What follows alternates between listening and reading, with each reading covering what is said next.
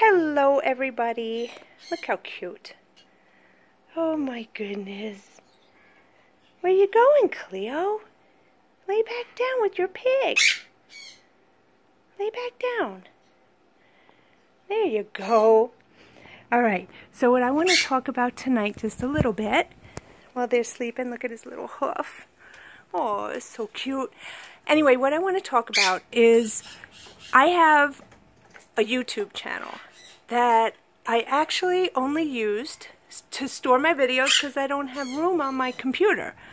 And all of a sudden, in the past week and a half, I have almost 3,000 subscribers. Why? What happened? How bizarre is that? But I'm so grateful. It's so cool. So now I have a whole nother world of our extended family with Sammy the Hammy, the Smiling Pig, and the Sharyn Zoo. So I want to welcome all my YouTubers. Is that what you're called? I don't even know. I'm so new to this. But um, for any of you who don't know, because you're new to the page, Cleo, I call her Cleo, but her name is Cleocatra because she came from literally the streets of Egypt. She was rescued, um, I think she was living on the streets, they said maybe for about four years, eating out of garbage cans. Um, and then they took her off the street and flew her to uh, New York, to me, uh, with a passport. So it was really cool. So she came here a little, September was a year. And Sammy, she's attached to Sammy like crazy. But Cleo is an original style Persian. In Egypt, this is what the original Persians looked like. Um, we kind of pushed in their faces when we bred them and, and bred them down and down to get the look they wanted. But this is the original style Persian. I think it's called the Shirazi. I think, but I may be wrong. But anyway, so that's Cleo. Sammy, Sammy is 12 years old. I've had him since he's 12 weeks old.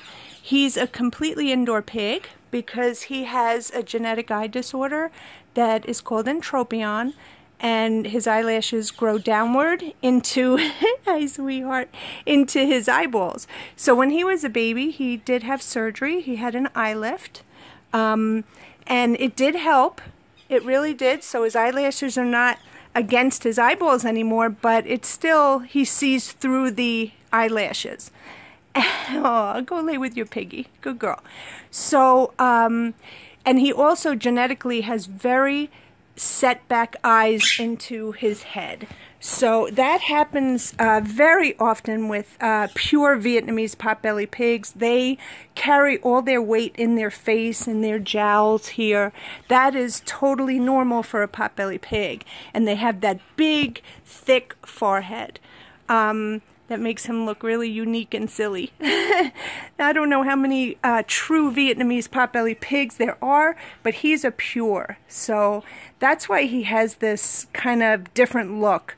Um, but Sammy is not blind. He is not fat blind. He can see just fine, but his uh, the light bothers his eyes. He has light blue eyes. So when he went out when he was young, I used to always take him out. He would just scream at the top of his lungs and the vets just told me just leave him inside if that's where he wants to be. So that's where he is. So that's the story with Sammy. And he is so content being an indoor pig, as you can see. And um, I take very good care of him. And I do give him supplements because pigs need to root. They need selenium, which is in the soil. Vitamin E and selenium they need. So he gets a supplement of that. So he gets everything he needs. And I give him vitamin D. So, and he gets a multivitamin, he gets all kinds of good stuff. So he's he's really in good shape. Um, anyway, so that's the story with Cleo and with Sammy tonight. And again, we want to welcome all the new uh, followers from YouTube, and we're so excited. That's really cool. So if you guys don't know already, I do a night-night video every single night to uh, say goodnight to all of you. And I always wake you up in the morning. So here we go.